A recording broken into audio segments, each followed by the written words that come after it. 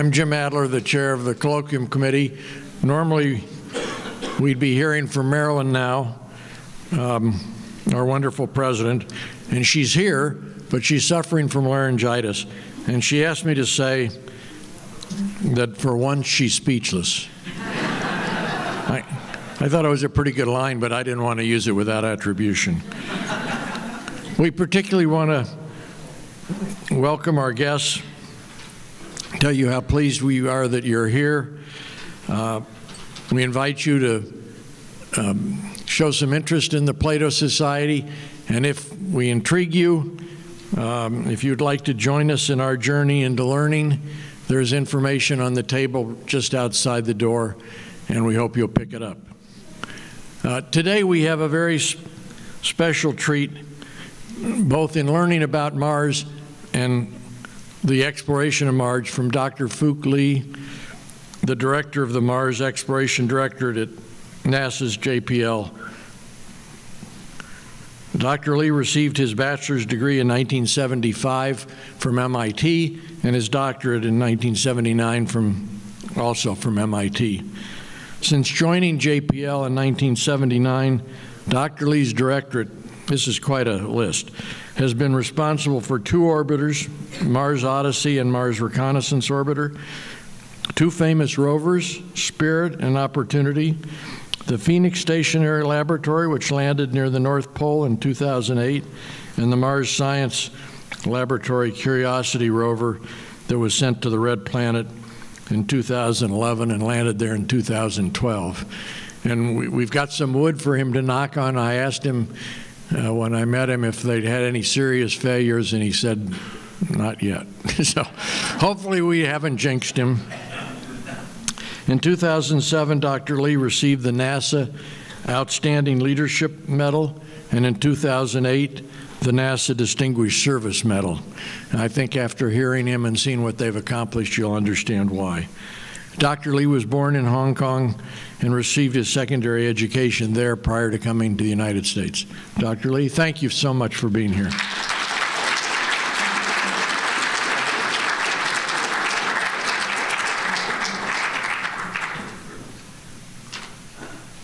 Uh, good afternoon. Thank you so much for helping me here. Uh, I'm delighted to share my, some of our discoveries and, and our excitement of doing Mars exploration robotically.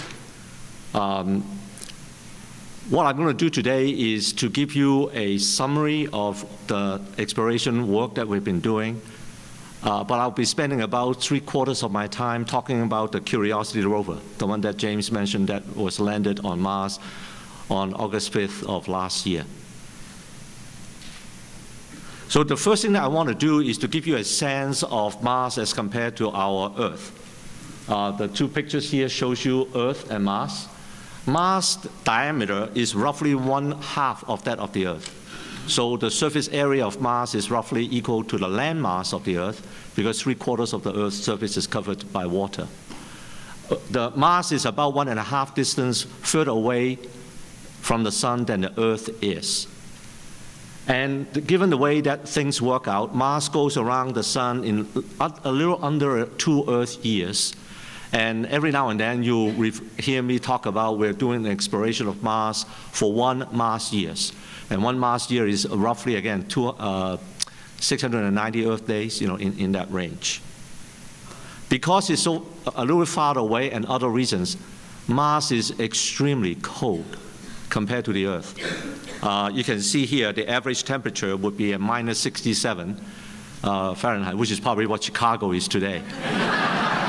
so uh, I'm glad we're here. Uh, when I was driving down here, my, my car reached 91 degrees. I don't know how about your, your cars. The other thing about Mars I'll mention briefly is uh, it has a, an atmosphere, but it's very thin is of the order of 8% of the Earth's atmosphere, and it's largely carbon dioxide. So from this point on, I'll talk a little bit more about the exploration program that we have. Uh, it turns out, given where Mars is and where, Earth is, we can launch one of our robotic mission of the order of 26 months. Every 26 months, we can go to Mars. If you want to explore other places, uh, it, uh, the alignment is different And frankly, if you want to go to deepest part of the solar system, it takes a long time to get there.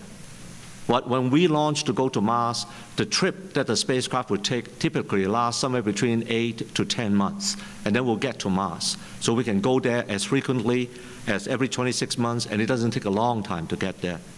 NASA has done a number of multiple firsts when it started exploring Mars back in the 60s.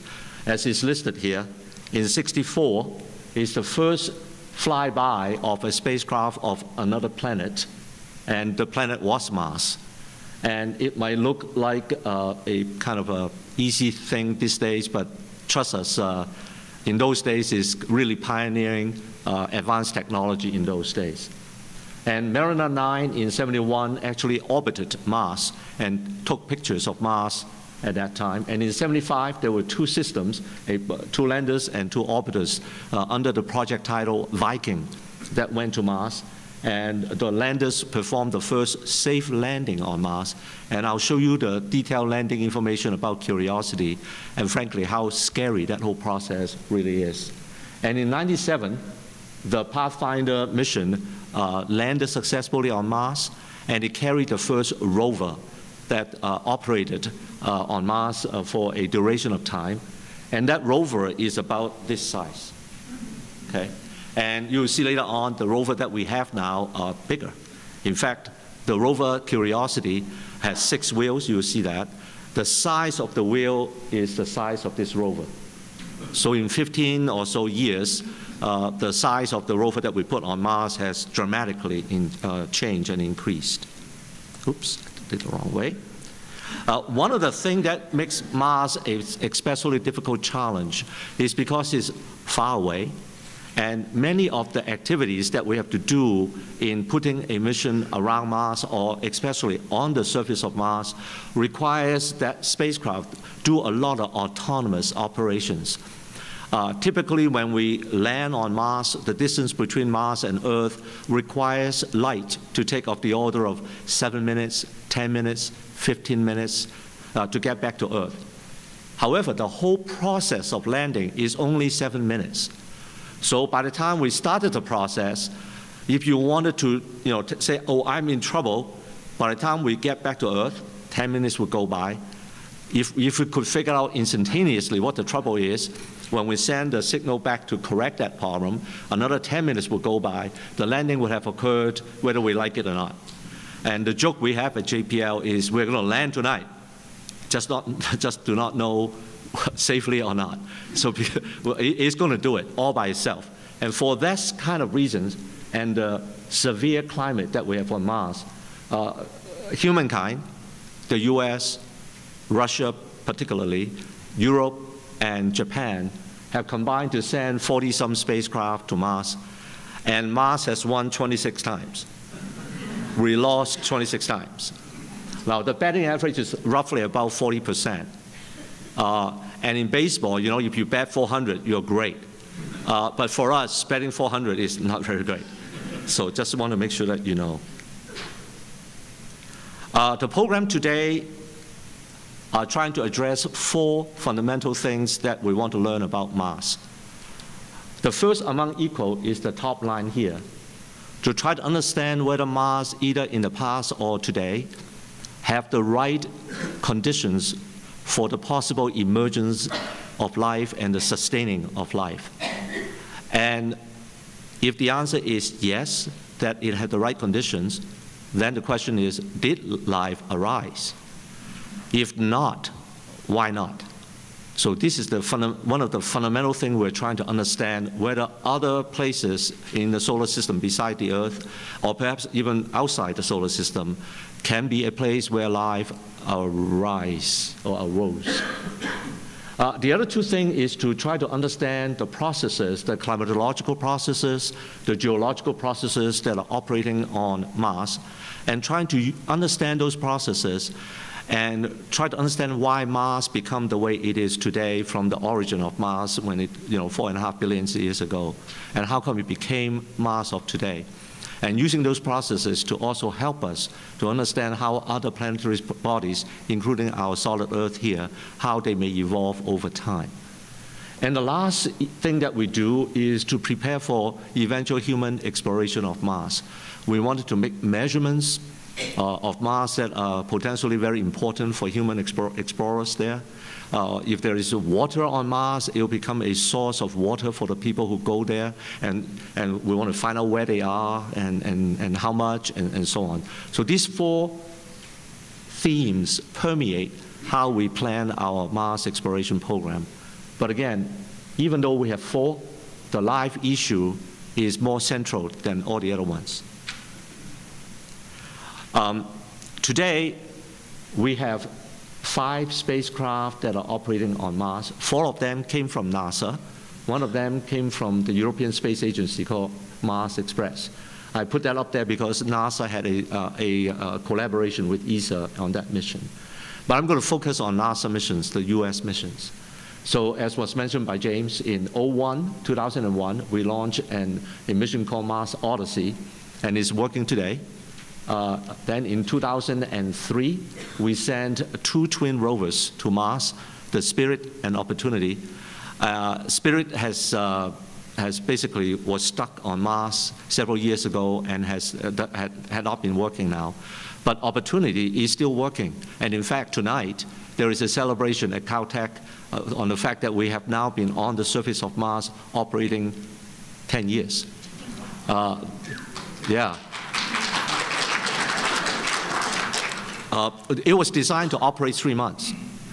So uh, you, you, can see we were 40 times longer than we expected. Um, I, I, used to joke that it's almost like when you buy a car, you expected it to last 10 years, and it lasted 400 years. so it's that kind of, uh, of a situation we have. And uh, in 05, we launched the Mars Reconnaissance Orbiter, which is still also operating around Mars right now. And I'm going to focus uh, about uh, 20 minutes or, or, more on the Curiosity rover. In, uh, uh, on the November 18th last year, uh, two months ago, we launched this mission to go to Mars. It's on its way to Mars now. It will get to Mars on September 22nd of this year, and I'll tell you a little bit more about that mission. We also are continuing to collaborate with the European Space Agency on these two upcoming missions, which I'll skip over. At the end, I would, uh, the last chart I have talked about a mission that we're planning to be launched in 2020, about seven years from now, a little over seven years from now. Uh, now, I'm going to give you just one scientific finding of each of the four ongoing missions. The first one I mentioned is 2001 Space, the, the Mars Odyssey uh, mission. One of the instruments on board measures hydrogen. And on Mars, the general understanding is hydrogen is associated with H2O, water. Now, when we, before we went there, we did not know how much hydrogen we might or might not see. But it turned out that once we got there and made a hydrogen map, where the blue is when hydrogen is high, and this kind of color is when hydrogen, especially here, is low. And with that finding, basically, we were able to uh, figure out that Mars, in both the northern and the southern polar regions, have water ice deposits, either that are observable above the surface or just buried right underneath the surface. And it was a major finding that we have. Now, why are we interested in water? Because there is a general belief that uh, to sustain life or for, for life to occur on Earth, we need three major things. One is a source of energy, and on Earth, we have the solar as a source of energy, and there are other potential, biochem potential chemical environments that can provide energy. Uh, the second one is uh, water you know, where in fact on Earth, when you have water, it's very seldom you don't find life in the water. Uh, I bet you this is filled with stuff that I don't want to see. So, uh, and the third uh, uh element is the right chemical compositions and ingredients like the carbon, the hydrogen, the nitrogen, the oxygen, and so on. So those are the three things. So on Mars, among the first thing we try to look for is water. And this mission did find a measurable amount of water in these ice deposit areas. Okay? The next mission that we sent was the two rover, the twin rovers, and this is a, uh, a picture from the opp opportunity, I believe, yes, opportunity. And we found out that on the area that we landed, there are all these little, what we call blueberries. They look about the size of a blueberry, and that are chemical, uh, that are structures and chemicals that were formed in the presence of water. So we, based on this kind of observations, were very sure that groundwater existed on Mars. At some point in time, we don't know exactly when, but it existed there for a duration of time before these kind of chemical uh, stru uh, structures can be formed. And this is a picture taken from uh, the Mars Reconnaissance Orbiter over the last several Mars years. And it's a very interesting thing. We're looking at a, a slanted terrain, like the side of a crater, facing the sun. And as the season of Mars occurs, when it goes from winter to spring to summer back to fall, you will see there are lines like this. I hope it's doing it, okay? That comes when the season is warm and it retreat, or the features, they retreat when the season is cold. Uh, we are believing, but we cannot prove. That is because there is underground ice on Mars that at that particular time, when the season is warmer, the, the ice become liquid and the liquid kind of flow down this, this thing and form all these linear features. And when it became warmer, uh, colder again, it, they retreat because the, they become you know, ice, uh, solid ice one more time. I'll just mention also a little bit about this mission called MAVEN that I mentioned launch, was launched in November of last year. Uh, I mentioned that Mars uh, atmosphere is about only 8% of the Earth. There is strong belief, um, maybe you can call it a hypothesis, that back uh, you know, billions of years ago, Mars had an atmosphere very similar to Earth. For some reason, that atmosphere disappeared. And when that atmosphere disappeared, some of the water also have disappeared. Some of that disappeared water became the polar ice that, that I showed you. Some of them probably have left the planet also. The, the mission goal of this particular orbiter, which will get there in September this year, is to try to figure out what's going on in the upper portion of the Martian atmosphere, try to see what's changing. Are things that are continuing today being escaping from Mars? And if so, what are stuff that is escaping from Mars and at what rate? And allow us, hopefully, to extrapolate billions of years backward to see what the Martian atmosphere was like eons ago. So this is coming attraction. It hasn't gone, gotten there yet. No, so I'm going to spend the rest 20, 25 minutes on curiosity. Curiosity is a roughly one ton rover that we built starting in um, 2005 kind of horizon. And we launched in, uh, right after Thanksgiving on, on the, in, a, uh, in 2011. And again, its goal is to map along the four themes that I mentioned before. But in this particular case, we are really going beyond looking for water because the, the other rovers have basically found evidence of water.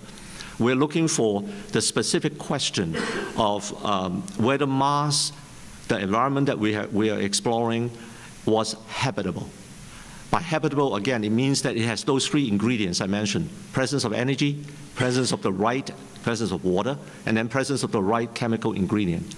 Now, we are still not specifically looking for life because later on I'll mention to you that looking for life, especially microbial life, is not at all easy. So uh, we're taking kind of one step at a time. And in fact, uh, the way I describe our program structure is we want to look for life, but we, uh, we don't want to try to hit a home run. We try to hit three singles. And so the first step is to basically look for the presence of water. The next step is to look for the presence of the right environment that it could be habitable. And then we'll go and see if we can find life. So I hope that makes sense to you. Now, the reason why we don't want to hit a home run right away, as you know, many home run hitter, uh, hitters, they strike out. And so if you send a multi-billion dollar mission to there, not knowing exactly what you're looking for, and you strike out, uh, our, you as our taxpayers might not like us to try again. So we wanted to uh, read this scientific uh, puzzle one chapter at a time. The place that Curiosity landed is called the Gale Crater. Gale is an Australian astronomer. The size of the Gale Crater is about 150 kilometers. That we landed right around here. Uh, 150 kilometers is roughly the size of the big island of Hawaii. It's a, it's a crater, but for some reason, in the middle of the crater is a, a, a five kilometer high mount. And uh, no one today knows why you know, in principle, that should be a big hole, right? So uh, the crater should have a hole. But for some reason, the thing doesn't have a hole. It has a mount in the middle. And surrounding the mount is a flat, a set of flat area. And we, we landed right on the, on the floor, of, if you will, of that crater. But from the floor of the crater to the top of the mount is also roughly the distance uh, from sea level to the top of Ma um, uh, Mauna Kea. So if you happen to the big island, imagine the big island. This is roughly the terrain we're exploring.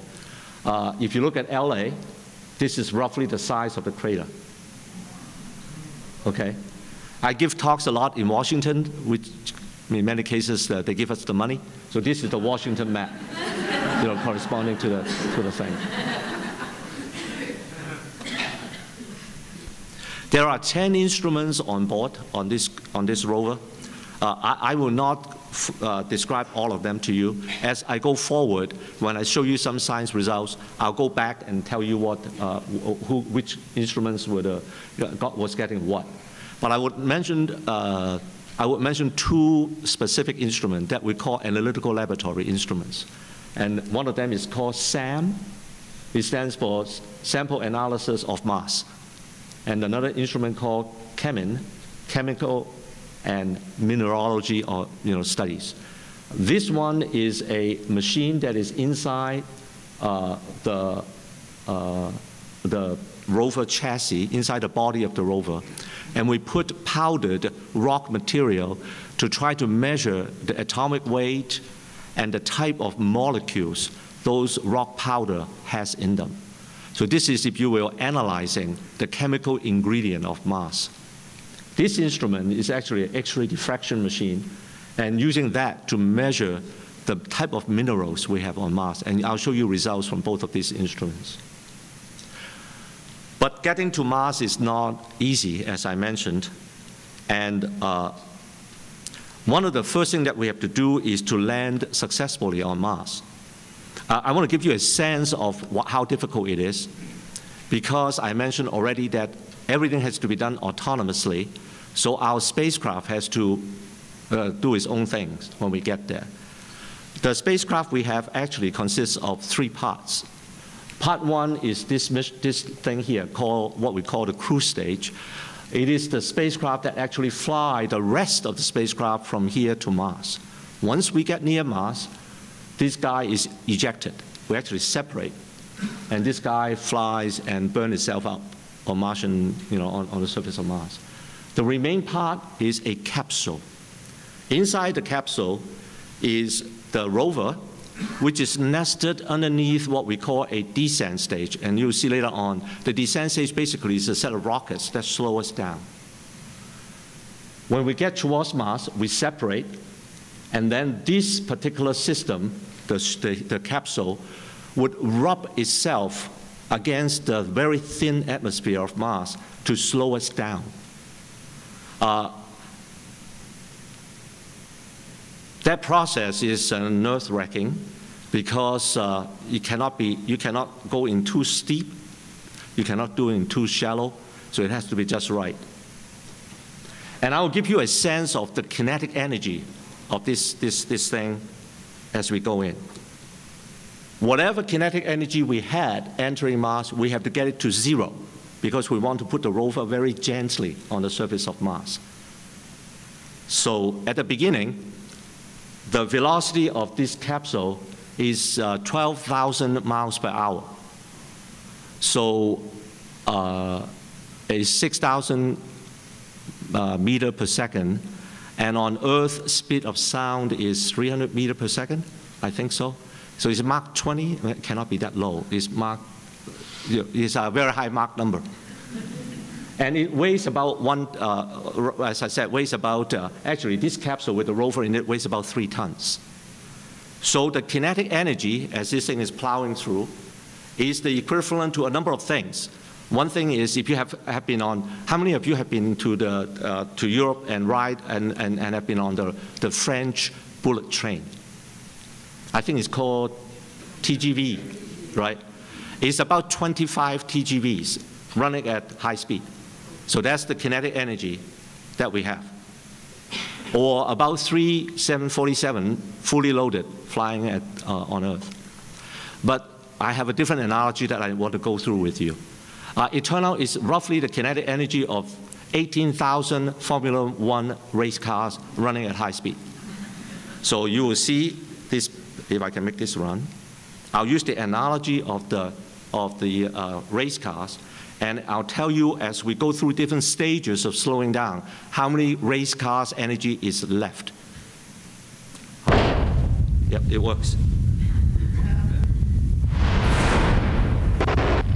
So the front part of the heat shield is rubbing against the atmosphere of Mars, slowing us down.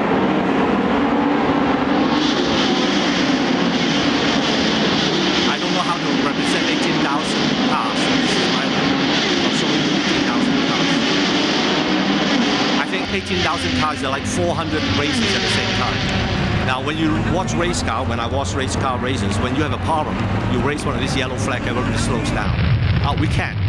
There is no yellow flag. We keep going. So when we get to a certain stage where the velocity has been slowed down by a factor of 10, we open up a parachute. By that time, it's about the energy of this capsule is about 80 race cars. We open up the parachute to slow it down some more. And when we get to a, the right speed, slow speed, we let this uh, descent stage with the rover tucked underneath it to come down. It's, at that time, it's about the kinetic energy of three to four race cars. And so we still have to slow this three to four race car down to zero. And it's that engine. And when we get to the surface, it's roughly this, uh, this person's kinetic energy. So we went from so we went from uh, 18,000 race car to one slow biker in seven minutes in a way that we cannot control. Furthermore, uh, on Earth, it's easy for us to tell weather. On Mars, we don't have that good of an observational system. We do not know exactly, exactly, exactly how the wind is blowing and how much stuff we're going to see. So we're going anyway. So as you know, we have been calling this, uh, you know, seven minutes of terror because we do not know how this is all going to work out.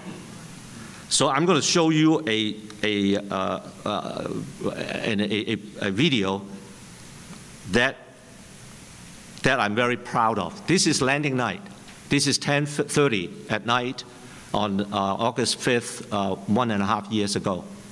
And this is a capturing of the people in, uh, at JPL, but also across the country.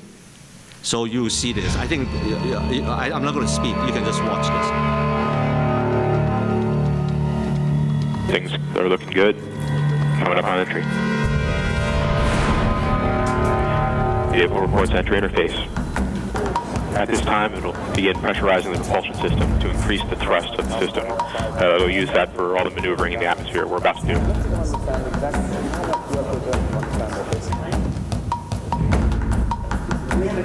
We are standing by for guided start, start of guided entry. So we have people watching all across the, the, the country, and there yeah, are people watching at uh, Times Square.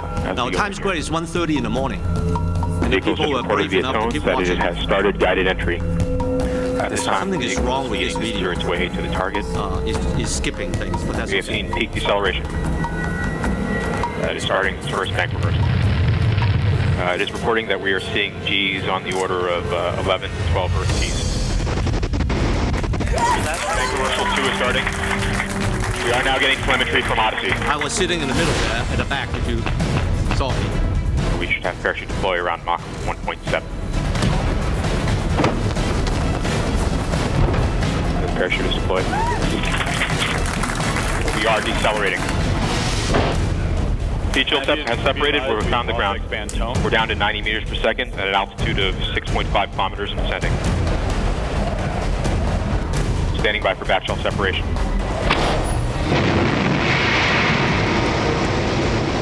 We are in powered flight.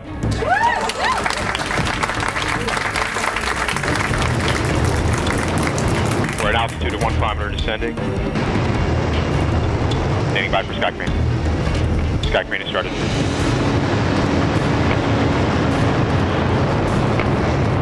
To us, you remain strong.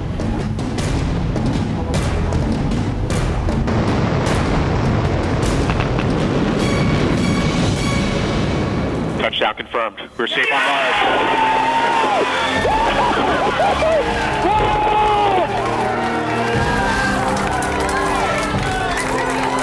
I'm going to stop there because the video is not too, not too. If, if you want to see it later after the talk, I'll try to see if we can work, run better. Uh, uh, uh, you know, now it's easy to see that well it worked, right? But when you were there, when it's happening, you really don't know what's going to happen, and it's very nerve-wracking. And the analogy that I like to say is, as you know, building one of these rovers and this kind of missions takes uh, literally thousands of people. And at JPL, at the peak, we were, we were, using, we were having more than uh, maybe 800 people, maybe 1,000 people working on it. And when we try to land, obviously everybody wants to land, these things to land. And it's almost like everybody's taking a final exam together. And everyone has to pass, you know, so that we can collectively pass. Uh, and uh, a lot of people think that it's very high tech what we're doing. Some of it is high tech, but a, a huge amount of it is really, um, you know, hard working, engineering, disciplined activities. If you make a small, it's like doing one million things in, that, in those seven, sec- seven minutes, and not one of them can fail. And we check each other all the time, and, and so on, but you never know whether you really, could we have missed something? So you never really know. So when it really landed, everybody was jumping, some people were crying, and, and so on, because I think people were not only uh, relieved, but they really was excited and, and, and, and happy that, that we landed successfully. Uh, I was very happy, in case you, you, you want to ask. Now, so once we landed, the first thing that we sent back is, is this image looking from the back of the rover. And I mentioned to you there is, we landed on the floor of, of the crater, and in the middle of the crater is this mount. In fact, the mount is named after a professor at Caltech, uh, Robert Sharp. So this is called Mount Sharp. So there is this picture, and the shadow is the rover, the sun is on that side, you know, casting a shadow on there. So uh, this is a very, very first picture uh, that we had. And it's, uh, again, it, it came down within three minutes of, of after landing. It was just most gratifying. But once this got on the web, someone took this and did this. I hope you have seen the Transformer movies. I don't think he was there, but now this is really a self-portrait of the rover. Uh, this is actually taken uh, about uh, two months after we, we landed. And it took about, in the, the rover has an arm in front, and in, in the very tip of the arm, the arm stretches about the height of an NBA center. So it's about, I cannot, I think, can I reach the height of it? Roughly the tip of my fingers. And at the front of that arm is a camera and we use that camera to do the selfies just that you do. And then we have to look everywhere. It took, I think, 57 pictures to, to, uh, to be synthesized into a self-portrait like that. And in this particular case, actually, we also dug into the Martian soil. You see these little marks here? We actually use this machine to dig into the soil, feed some of the soil into the analytical laboratories that I mentioned uh, previous, previously. After we landed, Mount Sharp is here. It's at the bottom here. Okay? And the place we wanted to go was from here to roughly there. But the scientists, in their wisdom, decided to go the opposite way. and we went to this place called Yellowknife Bay. And um, I, I, don't think I have enough time to, to, to tell you that they were not crazy. They, there is a reason they wanted to go there. And they, they were able to observe uh, uh, you know, very important signatures when we get there. The first thing that they saw when we were roving towards that Yellowknife Bay is the presence of a lot of stones, stones about this size, that have been compacted together, almost like cement. So from that, the scientists were already able to tell that this area that we landed in was a river about, with water about this high and is running of the order of a mile per hour kind of stream that was flowing by. And that transported and compacted the material that way. So we found water right away.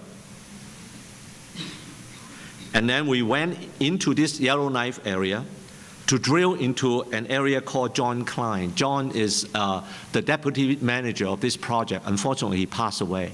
Uh, he has uh, Lou Gehrig disease and he passed away. So we honored him by naming him on this, uh, this, this particular area. And you can see the arm again here. And the front part of the arm has a drill. It basically drill into this material, powder them, and then take those powder and put it into the analytical instruments. And this is a drill. Uh-huh. I'll show you the drilling exercise. Oh, it's this one. Does it work? Uh-huh. So it's a test uh, vehicle at uh, this, uh, this John Crossing, the project site.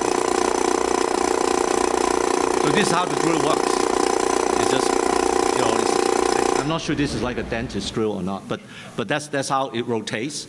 And when the stuff is drilled into powders, there is a little mechanism that actually put the stuff, kind of gradually sip, uh, move the stuff upward into the, the, the thing in the head, uh, at the head of the arm, and the head of the arm move around to filter them and put the filtered stuff into the and when we finish the testing, you can see how many holes we, we drilled. Okay, I, I joke that we should have been drilling into uh, bowling balls and sell the bowling balls. now on Mars, this is the drill that we did. On one side was a test. When we did think the, the first time, we didn't quite know what we were doing, so we did a little bit, did a tiny hole to make sure that we know what we're doing. And then we drilled the, the real hole itself. Now, immediately when this occurred, the scientists were extremely happy already and the reason is Mars is known as the red planet. And the reason is because it is a very oxidizing uh, atmosphere. And uh, the stuff is basically rust.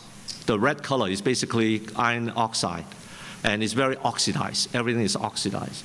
But this is not red. This is grayish, uh, greenish, whatever you want to call this color.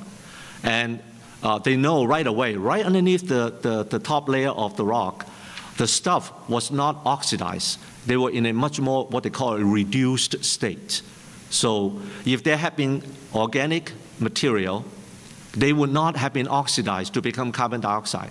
They could have been preserved. I hope that makes sense to you. So they were really excited when they saw this. They became, I'm going to skip this one. They became even more excited when they analyzed that stuff. This is the X-ray diffraction machine. I'm not going to describe why we have these patterns, but uh, in the, the drilled material as compared to the soil. Remember that I mentioned there was some soil that we just dug up? The soil um, uh, signature is like this, but the drilled rock material has this additional signature here, which is indicative of a thing called phyllosilicates, which is a kind of material that is formed, clay material, that is formed not only in water, but in neutral water, water that we can drink. And Yes, good idea. And then they analyze it with this uh, machine that measures the type of elements, the type of mo molecules that we have. Uh, again, I'm not going to go through the details with you, but we found oxygen, we found uh, sulfur, uh, and there's clearly water in all these signatures thing that, that we, we look into. So in this particular area in the Yellowknife Bay, we are now quite confident that once upon a time it was habitable. By that we mean A, it has an energy source, and for that matter, that there are minerals in this area that we analyzed that have different states of oxidation, and it turned out that if you're a microbe, you can utilize that, those different states to extract energy on a chemical basis. It has water, it has neutral water, And the water is not very salty, meaning that it's quite pure. It's not like honey. If, if you have honey, you, you, it's liquid, but it, very little water in it. A lot of stuff is stuff. And lastly, it has carbon, hydrogen, oxygen, phosphorus, and sulfur, which are all the key ingredients for life on Earth. Our objective to go there was to see whether this area was habitable. Touchdown. It was habitable. In fact, I think we scored two points after. We scored eight points on, on this experiment because I think we basically found it. Now, we are not done. We are turning around and going to where we wanted to go, right? We, that was, we took a detour. So I mentioned that we, we went from here to, to this Yellowknife Bay, and we are now down to roughly here. Going to, this is Mount Sharp. I'm sorry, this, the picture keeps changing uh, perspective. Mount Sharp is here. And so we landed there and we're driving this way. And we're about 40% uh, there uh, or so. It's going to take us uh, quite some time to get there. It turned out that the terrain is extremely tough, very, very rough terrain. Um, we, we have to be extremely cautious. And when we get to this particular area, this, this region here, which is named uh, after Bruce Murray, one of the director of JPL who passed away, uh, it was named in uh, memory of him. And then we'll cross over this region and climb into this region where all the mineral deposits that we can see from orbit are all here to allow us further understanding of how this whole crater came about I mentioned to you that we don't know why there is a Mount Sharp in the middle. Hopefully by analyzing material here, we learn even more. Hmm, interesting. What did I do wrong? So this is climbing to the, to the Mount Sharp foothill area. And this is a picture taken by the rover when we landed, looking at that, that direction. And when we are there, the rover will be about the size of this rock. So you can see roughly, you know, how big this whole terrain would be. The rover, if you come to JPL, give me a call. I'll show you the rover. The rover is about the size of a, in fact, the, the, the, way we compare it to is a, uh, uh, a Mini Cooper. You know, it's almost exactly that size. And this is uh, this picture actually is the one that I like the most. It's not taken by the rover, it's taken by the Mars Reconnaissance Orbiter. And this is sunrise on Mars. Mars rotates, sun is rising. And this is the Gale crater. Do you see the Mount Sharp in the middle? Okay. So if you will, if you're standing, you're physically standing there, sun is rising. I like it so much because um, it gives me a feeling that every day, you know, there's another new day on Mars. And I just want to have many, many, many such days observing Mars when we're there. Uh, I want to talk a little bit about in 2020, we're going there one more time, we hope. NASA has, been, has announced that we're planning such a mission. And it will also be a rover mission very likely built upon what we have done on Curiosity. Basically, using the chassis that we have, the rover, the, the, shape of the rover, the wheels that we have, and the arms and so on, using similar landing uh, uh, scheme uh, that, that I've shown before. Uh, we'll do exploration of perhaps a new site, but at the same time, it's likely that we are allowed to uh, drill into rocks and preserve some rock samples in a box. And years from 2020, many years after that, we will go and take those samples and come back home with those samples. And that will be the first time when scientifically selected, carefully selected samples of Mars can come back to Earth for analysis. Now, why is that important? Because we need to go from the third base to home to talk about this live issue. And to look at the live issue, we believe would require all the best instruments on Earth. In order to utilize all the best instruments on Earth, many of them takes up the size of a laboratory. We cannot miniaturize all of them and take all of them to Mars. Instead of doing take all of them to Mars, we take Mars to them. So we carry this uh, carefully selected sample back to Earth, and basically analyze those samples and see the fundamental question, are we alone? Or Mars also have life? Okay, thank you.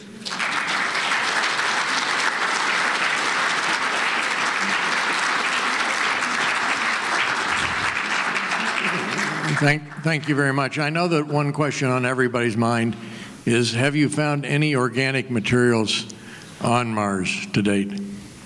Uh, short answer is not yet. Uh, we are uh, we are looking. Um, no, short answer is no. Uh, let me put it differently. Uh, it is not teeming with organic material. Okay, it's not like everywhere you drill, they are, they are, just, uh, they are just there. So if it is a lot of it, we would have seen it already. The signature is very, very subtle.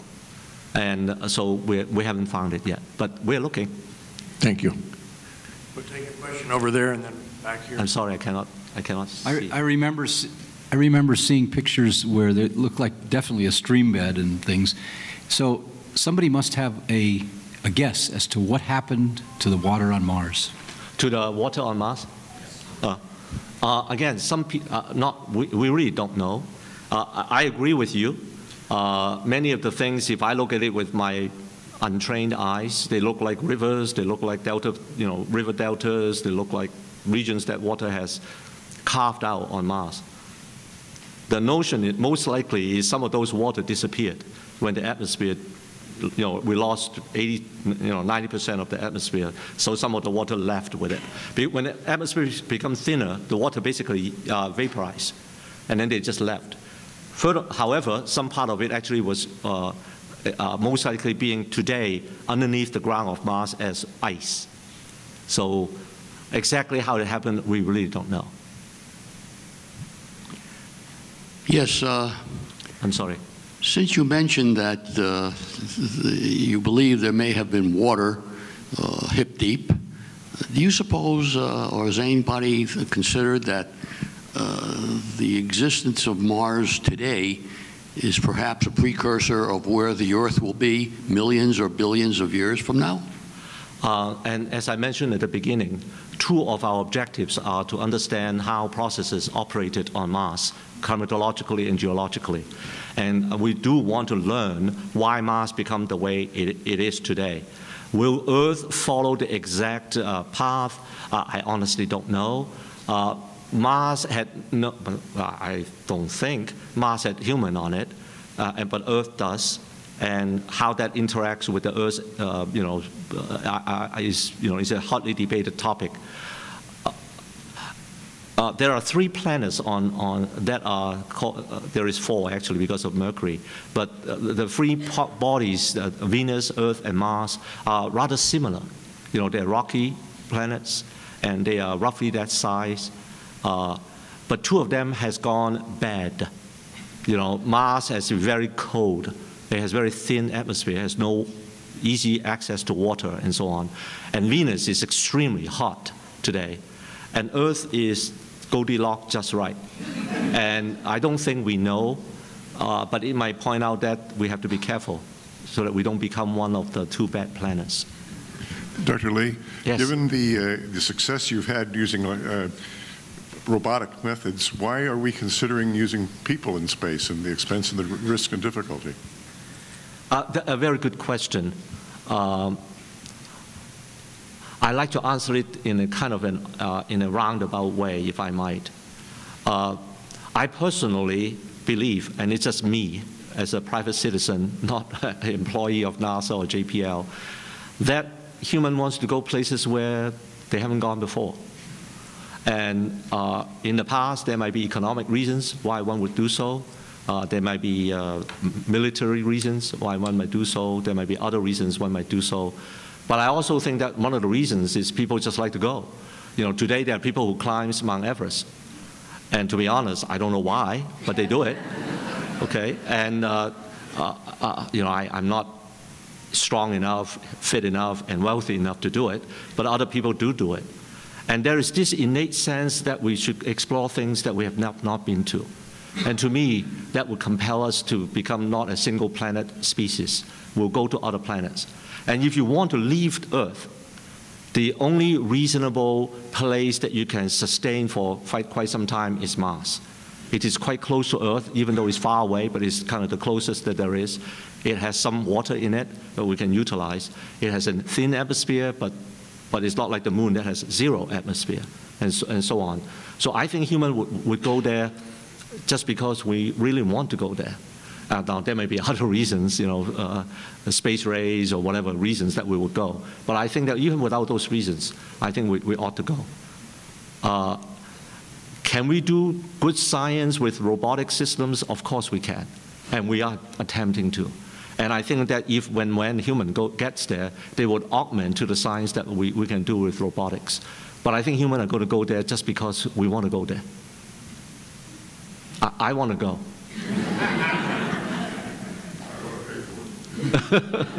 yeah, it's, it's a very expensive thing. So I, I totally understand. Uh, I'm the, sorry. The lay scientific literature seems to suggest that the atmospheric question is a function of the internal heat of Mars, and specifically whether there was, there was a molten component. Mm-hmm. How is uh, Curiosity going to address that question? Uh, Curiosity was not uh, designed to study the internal structure and what, what Mars is. So let me go off on a tangent for a minute based on what you said. Um, there is a hypothesis, a, a story, perhaps not, not really a scientific kind, how should I say it well? Uh, my personal reading of the scientist talk is that most likely uh, in the ancient past, Mars has a molten, uh, you know, inner, inner core, and it generated a magnetic field, a global magnetic field, like Earth does have it today. But for reasons that we don't understand, it stopped and the magnetic field decayed away. Today, the following is actually scientifically measured. It turned out that there are remnant magnetic field, small field, on, on the rocks that we see on Mars that was derived from a mission that I didn't mention, you know, back in 96 when we have the Mars Global Surveyor that detected this remnant field. But there is no global field. When we, Earth has a global field, it protects the Earth's atmosphere from the solar wind. The solar wind comes in, the, basically the magnetic field pushes that stuff and let them go around Earth. Once the global magnetic field died off, the conjecture, the hypothesis, the story is that then the wind over time stripped the atmosphere away. So that, that uh, now Curiosity is not measuring those things. MAVEN will be. The mission that I mentioned that was launched in November is deliberately sent there to, to, to figure out whether I just talked was just it was real or was just total garbage. So, so that's, that's what we're going. Yes? Um, I see where the various trials have been looking for conditions that sustain life as we know it here on Earth. But on all of this, I've always wondered, might there be forms of life that is different from what we know on Earth that requires and is exist with in a different chemical makeup, in a different atmospheric makeup that's outside the box of what our minds think of as life here on Earth? Uh, excellent question. I, I pondered that myself. Uh, I, am not a scientist in that in that vein at all, but I, am curious, just like you are, whether there could be other um, non-carbon-based life form and, and so on and so forth. Uh, the problem we have is our knowledge is so limited. We can only try to find things like us. If you think about, could there be other life form? Possibly. But what are they? How do you look for them? Where do you start? Uh, so I thought about it and I said, I don't even know how to start. But looking for our type of life form, we know how to start. Let's try that. It's kind of where we are today. As time goes on, if there are more uh, evidence scientifically that there are other potential life form, um, sure, we'll change our search strategy. But today, it's kind of, we don't quite know what to do. Yes, there's that possibility, but we don't even know how to start. I hope that, that addressed your question. Dr. Li, uh, you've spent pretty much your whole working career at uh, JPL and NASA. how would you describe the expectations of what could be achieved when you started there versus what you've achieved today versus what you think can be achieved in the future? Wow. uh, uh, let me tell you, uh, you mean achieving? Briefly. You are talking about the space program, you're not about me, right? Uh, uh, let me give you the following. I don't know if. First of all, when I started at JPL, I didn't know anything. Uh, I was just so glad I had a job. and I participated in a mission that eventually became a mission that mapped the surface of Venus. Uh, over the 30 some years I have at JPL, we have come a long, long way. You know, I show you the, the Sojourner, Sojourner rover that was, uh, you know, landed on Mars in 97, which is about this size. And today is, you know, we're literally uh, 100 times bigger. Uh, so our technological know-how has, has really, truly uh, evolved quite a bit. Uh, I expect us to continue to be uh, on that path. Uh, I don't know how the national economy is going to be like, uh, and therefore what, whether that slope would be like that or would, would it taper off a little bit.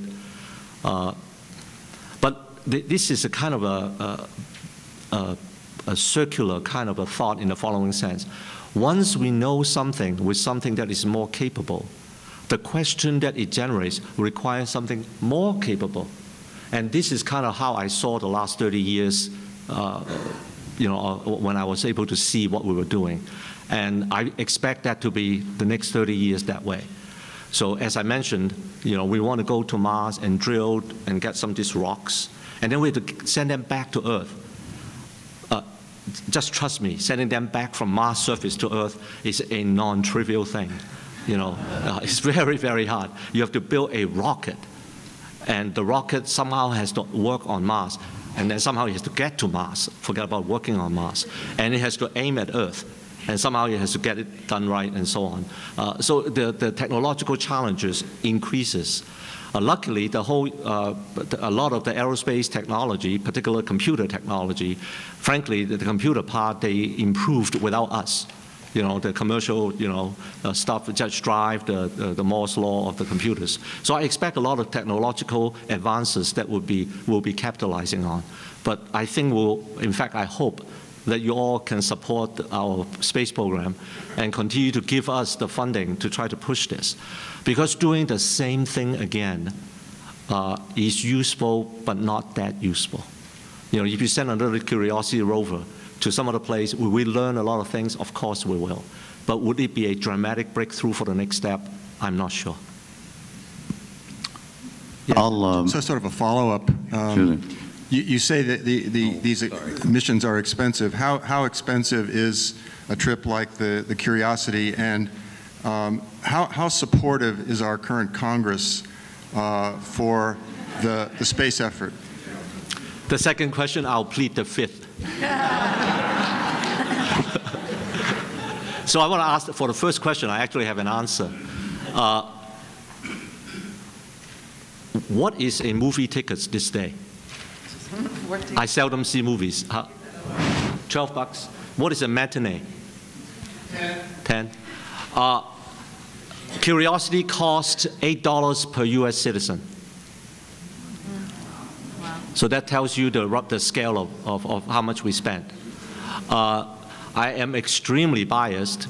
I'm extremely prejudiced, but I love this movie I'm watching with your $8.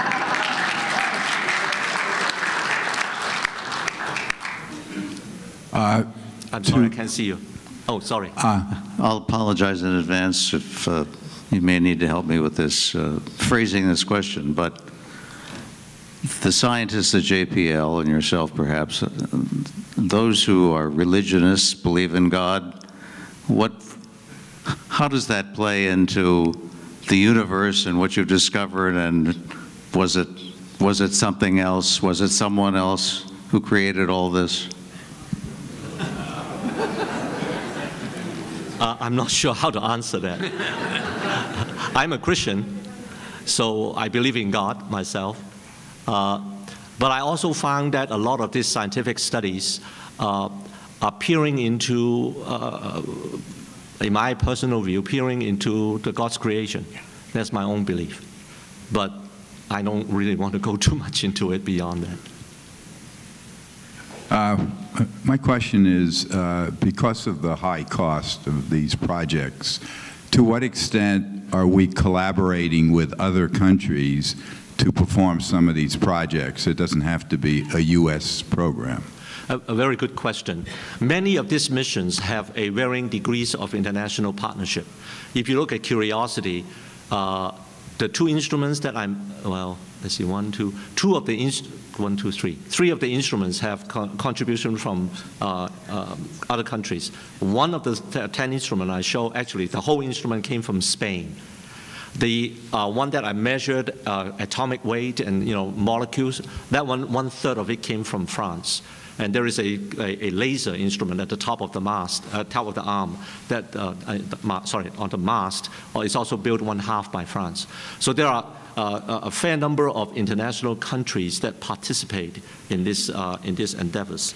Um, similarly, I mentioned there is a European mission called Mars Express. Among the very first chart I show, that the U.S. Became, uh, was a part of it. So there are enough. There, there are enough. There are definitely collaborations. Uh, can there be more? Probably. You know, in order to share the, uh, you know, to do the to do more with the limited budget that we every uh, side have. Uh, scientifically speaking, I think it's the right thing to do. Uh, but when you do collaborations, um, it's a very, uh, I don't know how to say it, it's a very political thing. You know, it's not like uh, we do all the great stuff. You just do the, do the, you know, do the not important stuff, and then they will say, "Well, we do the great stuff. You do the not important stuff." So that that that process requires time and and uh, negotiation skill, so that at the end, both sides felt that is a good deal. Uh, so I think it will, it will continue to happen. Uh, and I think that most of our NASA missions are indeed in international in nature. Uh, I'm sorry, I don't see. Um, I have a question. If we look at the life on Mars, just the, that, that would be similar to life on Earth, uh, one of the main ingredients is nitrogen. And I was wondering if there is any sign of nitrogen on yeah. Mars. It, there is. The chart that I have left out nitrogen. Uh, we found all of them. The six elements, nitrogen, oxygen, nitrogen, oxygen, hydrogen, carbon, sulfur, and phosphorus. I feel better, thank you. Yeah.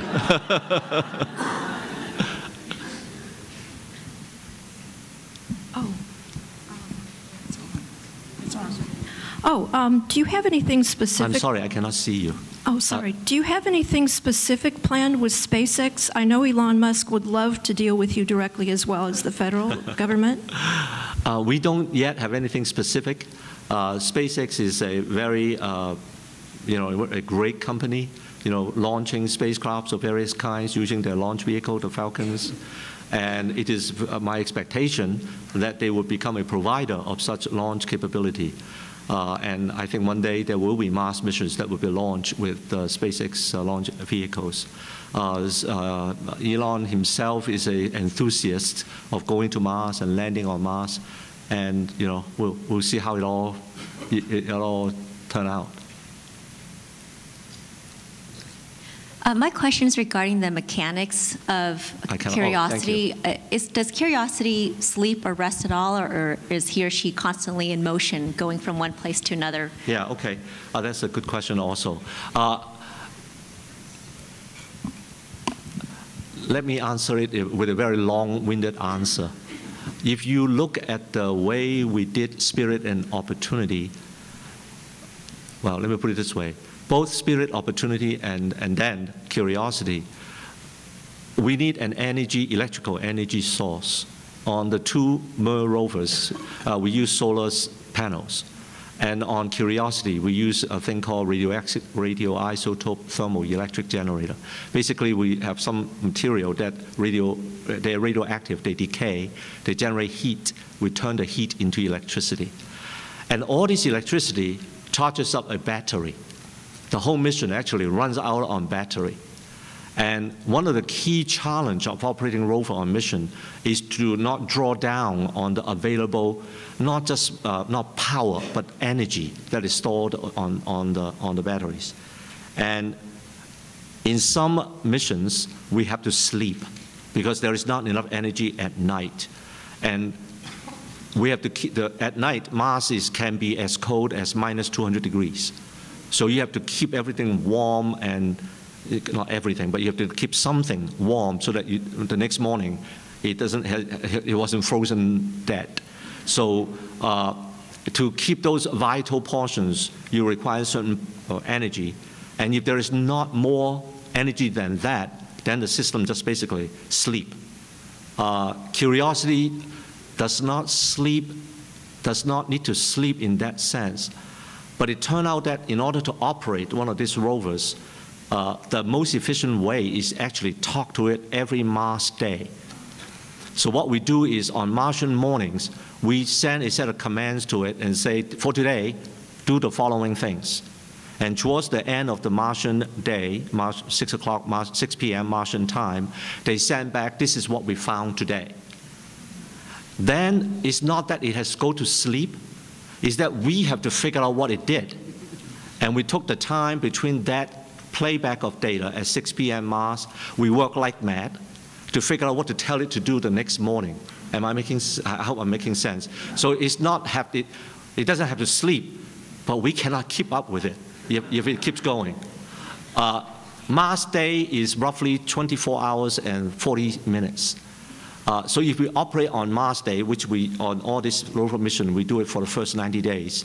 Uh, if you have tried it, I don't think you have, uh, but if you have tried it, you will find out that you are constantly jet lagged, right? I mean, it's like flying one time zone. An hour was the big deal. But every day you're moving one time zone. And uh, try it when we land the next time and, and see how it works. After 90 days, no one can take it anymore. Uh, so from now, uh, you know, since the 90 days, we actually operate Earth time. But when we operate Earth time, sometimes when we are our morning, is their midnight. So for that day, we have no data. You know, we can go into JPL and for 10 hours, nothing happens because the data hasn't come back. I hope that makes sense to you. So there are some days that we cannot operate the rover because of those reasons. Um, uh, since Mars uh, and our own moon have no atmosphere to protect themselves, has NASA done any studies on how large an object, be it an asteroid or a comet, could hit these two bodies and change their orbit enough to affect the Earth? Uh, I don't think so. I mean, these bodies are extremely large, both Earth and Mars. The asteroids that we have, that I know of, are not huge, and you know they are a threat. If they come towards Earth, it uh, you know it could be a threat, but it doesn't fundamentally break the Earth apart or, or fundamentally of such huge kinetic energy that can, uh, I mean, it will perturb the, the, the, the, stuff a little bit, but, but I, my understanding, again, I'm not, my understanding is very limited, uh, is that it would not in a way that would fundamentally jog things around today. Now, in the early years of the solar system, where such phenomena occurred much more frequently, where such bodies are much bigger, there was a lot more perturbative and a lot more chaotic in those times. But today, my understanding is those asteroids are just not that big to allow, I think, what you were saying to occur. I have just a, a real quick question for you. Um, every U.S. citizen paid $8 for Curiosity, which is a good deal, really. But in your opinion, how much money would every citizen have to pay in order to send humans to Mars? Uh, short answer is I really don't know. Uh, the long answer is uh,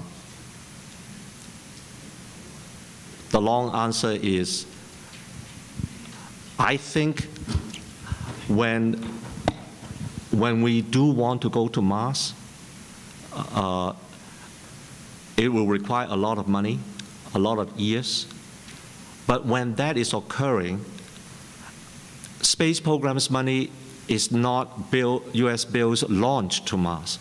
Every single dollar is spent, frankly, paying people like me right? So the, the is a is an economic kind of consideration because you are frankly employing uh, I'll use word high tech you know capabilities of the country. So the question really is is that the right use of taxpayers' money, you know, to invest in our technical arm of the society and to do this particular thing. Uh, it will take a long time. It's not going to be like, uh, unless there's something really dramatic, uh, it's not going to be. Now, I still hope I can see it with my eyes, uh, but I don't know. Oh, sorry. I, my question was, is, is there a concern about uh, taking microorganisms to Okay. Are there concerns about um, taking microorganisms from the Earth to Mars and contaminating Mars? And There- how there- do you do that? There, uh, there is a, uh, a- clearly a significant concern.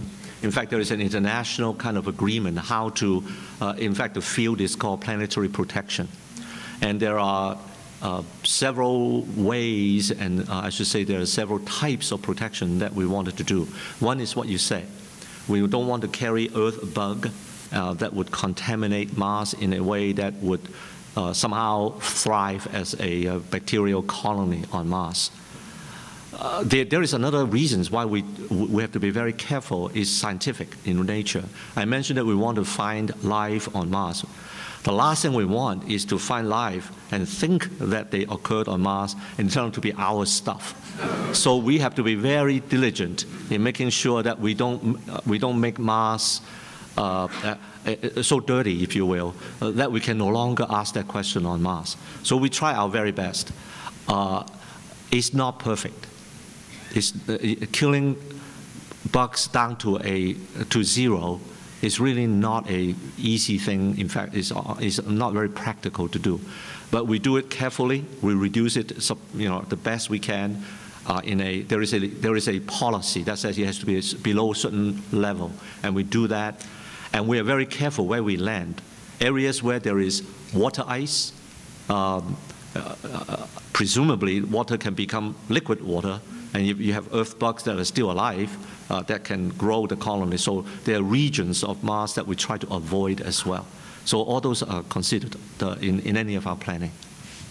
Why isn't the ice that's there presumably sublimated over the millennia? Why didn't it? sublimate. Doesn't ice Yeah. So, so uh, today, if you're, you're on the surface of Mars, any liquid water will sublimate. The reason that the icy ice ex, uh, water exists is just because it's the, it's the uh, uh, and it's, be, it's existed at certain pressure.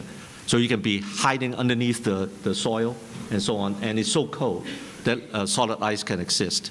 And it becomes liquid, yes, it sublimates right away. Is there a question over there? Dick?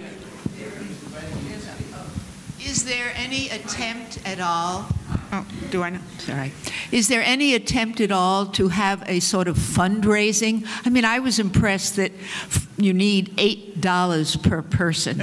That seems like a worthy contribution and one that, you know, there are other sources than the Koch brothers for what they do. Could we, could we get another group going on this? Um, In other words, it's a using private idea. sources. I, I think it's a good, good idea. Uh, I think uh, the day may come with all this internet, uh, you know, crowd fundraising that, that it might help us.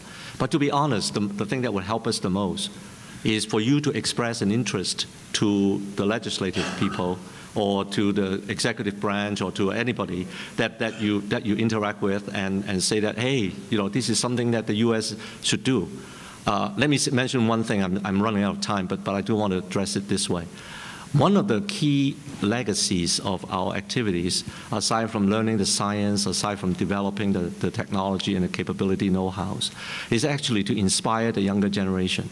Some of the people that work on at JPL now and other places at NASA, uh, they were students And they, I remember watching the, the Apollo landing. I was in Hong Kong still at that time. I was a teenager walking along the street, and then all of a sudden, the, all the TV you know, station was showing this. I'm not, I wasn't sure I was inspired, but I was certainly uh, thinking, wow, this thing happened. It was very impressionable. And I believe that some of the younger, younger generations, uh, uh, with what we do, if we can inspire them to go into the scientific field and become the future people working at JPL, you know, I'm so old, you know, they, they have to replace me soon enough. And, and that might be a, another reason why the country would want to put money, you know, whether going to, with people going to Mars or just robotically speaking. Yes? Uh, doctor, could you explain uh, and break down the kinds of activities that are going on at JPL that might not be, you know, Mar the Mars missions, sure. but there are lots of other things you're doing. Yeah, uh, uh JPL really has uh, three or four major category of work.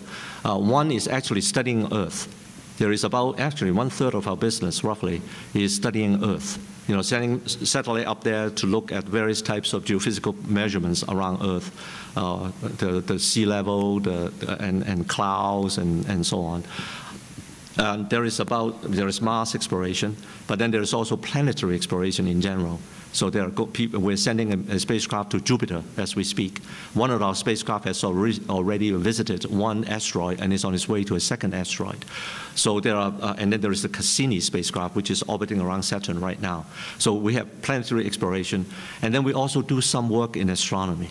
We, we, uh, we, we built and are flying a mission called uh, Spitzer. It's an infrared telescope. So JPL does a, a, spectrum of uh, solar system exploration, astronomy, and Earth. And we also have what we call the deep space network. Uh, when the spacecraft are very far from Earth, when they relay the data back, we need big antennas to capture those signals. And there are three major stations around the globe, uh, one at, uh, in Goldstone, one in Spain, and one in uh, Australia, listening to those very weak signals from spacecraft far away. So JPL, that, that kind of summarizes what JPL does.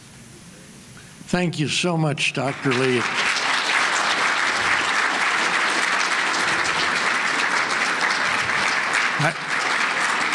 I, I, think all of us can agree that the country got a lot for its $8. I hope you get many more. You haven't been here before, but to hold this crowd with this attention, with this little leakage, is a real tribute to you and to your subject. And we greatly appreciate it. Thank you for spending the time with me. I appreciate it. I hope we'll see all of you in a month when we're going to hear from Dalia Dassa who's a RAND expert on the Middle East and will be making a, another outstanding presentation. Thank you.